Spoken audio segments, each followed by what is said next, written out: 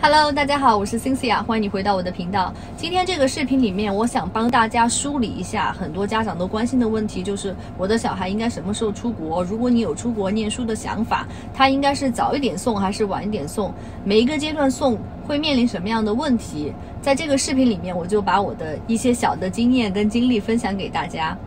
首先，如果你的小孩子想要出国留学的话，你肯定是需要过一个东西叫语言关。如果是你的目的地是英文类的国家的话，你的英语就必须要达到一个可以学习、生活跟交流的。然后在这个过程当中，年级越高，它的难度肯定是增加的，因为它是有学术英语在里面，不是说你只是会日常生活的英文用语你就足够了。学术英语又是另外一套东西，所以他如果年级越小来的话，他肯定接触起来比较容易，因为小孩子本来语言的学习能力就是处在他的最佳状况。如果你长大甚至成人之后再来接触的话，那肯定会有一定的劣势。你在学会这些东西的方面，肯定是不如小孩子那么快的，那么快速。好，但是如果你很小的时候出来，那到底要多小？如果是比如说像小学阶段，一般一年级开始这样的，到六年级结束这个小学的阶段的话，很多家长认为至少要把小学读完之后，把中文的基础打好了之后再出来。那么出来之后，你的中文是有一个母语的基础，然后你学习英文的过程也会比。嗯，高中以后或者大学以后的话，要来得快，因为你刚刚开始上初中，然后这样的小孩就是半大不小的小孩，他学习能力、语言方面的能力也不差，所以很多家长就认为这个是一个非常好的点。那，我在此不评价任何的。这个时间点到底哪个好哪个坏？因为每一个家庭的状况不一样，你一定要根据自己家庭的生活上的安排来确定学习上的安排。其实很多家庭是反过来的，确定了学习上的安排，再来反过来去规制自己生活上的安排。举个简单的例子，就是有一些爸爸妈妈可能会为了小孩学习这件事情而分隔两地，比如说妈妈先带着小朋友来外面去读书，然后爸爸继续工作。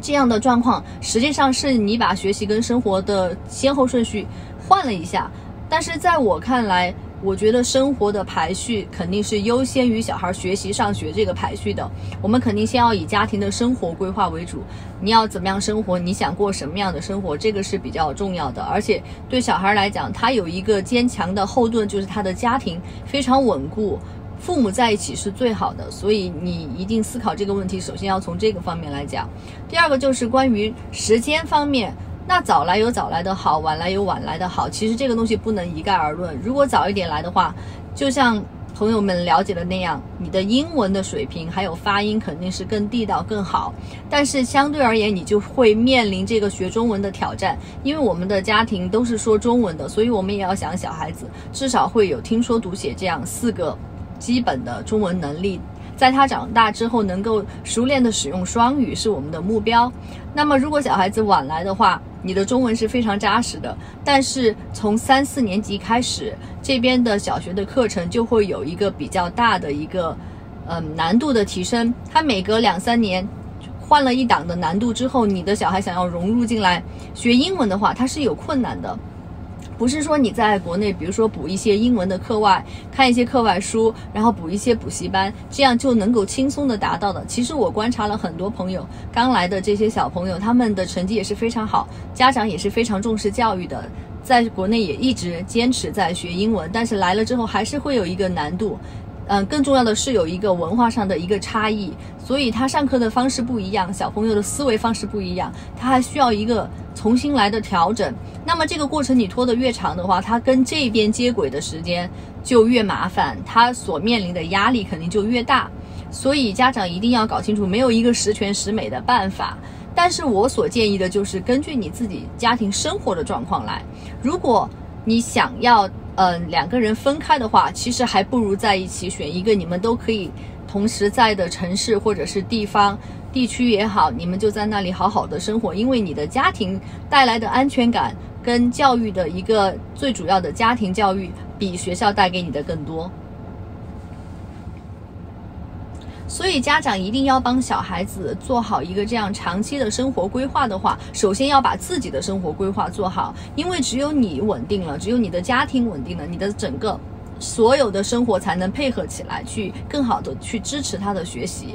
那么，如果是小时候来的话，面临学中文的问题，这也是个让非常多家长头疼的。但是现在好在是有互联网的时代，你不缺任何的学习资料，你也不缺任何的资讯，所以其实在这边的话，你只是换了一个城市生活，但是你能接触到中文的渠道是非常多的。比如说网络上有很多剧，有很多课程，很多网络课，包括。很多大型的培训机构，他们都是有网课课的，你是都可以去主动的去找到中国母语的老师去说中文，去学中文。然后当地华人的社区很多也是有常年的中文培训班，这个都是很方便能够找到的。最重要的就是家长到底有多坚持这件事情，而且让小孩子创造了这个机会去用它。很多家长只做了前半步骤，就是说我已经给他学了很多了，但是发现没有舞台可以用，所以你就要帮他找到这个。舞台去使用这个技能，如果他没有兴趣一直用下去的话，他就很难坚持学下去，因为他觉得在他的日常生活当当中是用不到这些东西的。那么第二个英文方面，如果是想要出国念书的，哪怕是你现在在国内，然后你读完小学、读完初中，你有这个计划要出国读书的话，确实英文方面你要多下功夫。专业进去这个本学科需要用的所有用语，你才能够非常完善的去理解到这门课的。精髓这门课想要传递的知识，它并不仅仅是日常用语这么简单了。所以这个英文的话，学科类跟生活类，你一定要把它搞清楚。还有最重要的一点，我就想跟大家分享的是，你说英文的时候不要怕有口音，因为很多人很介意，就是你到底说的是美式英语还是英式英语，或者说你说出来是有一股什么别的地区的。口音的话，其实这个完全完全不要介意。你说语言的最根本、最核心的目标，就是要沟通、传递你的想法，跟表达你自己，还有说出你自己真正的内心的一个思想。这个东西的话，是远远比你的口音更重要的。一定不要怕去说，要去主动的。用出来，用错了也没有人会取笑你，也没有人会去让你很尴尬，因为在各个学校里面，你接触到的有可能是来自五湖四海的朋友跟家庭，小朋友们都是来自不同母语国家的，然后又聚在一起用英文开始学习新的东西，所以每个人说话多多少少有一点口音是非常非常正常的事情，你千万不要觉得尴尬，所以你用了这个。心态调整之后，你可以再去很自信的用英文去讲述自己的观点跟内核的话，你会觉得非常的舒服了，因为你已经迈过了这个觉得自己会有可能说的不好这样很尴尬的一个场景。然后最后一个就是。你要出国出来读书的话，确实是一个长久的规划。那么这个东西越早规划越好，就是看你最终的目的，你到底是想在哪里生活，还是说你只想感受一下？每个家庭的目的不同，所以你设置的目标，给自己提的要求也是不同的。但是我就祝福大家。在 plan 这个未来学习生活的道路上一帆风顺，然后把自己真正想要的能够拿到，把自己真正想要去走的路能够好好的走完它，这就是一个非常棒的经历了。好，谢谢你。如果你喜欢我的视频的话，请你分享点赞。我们下次再见。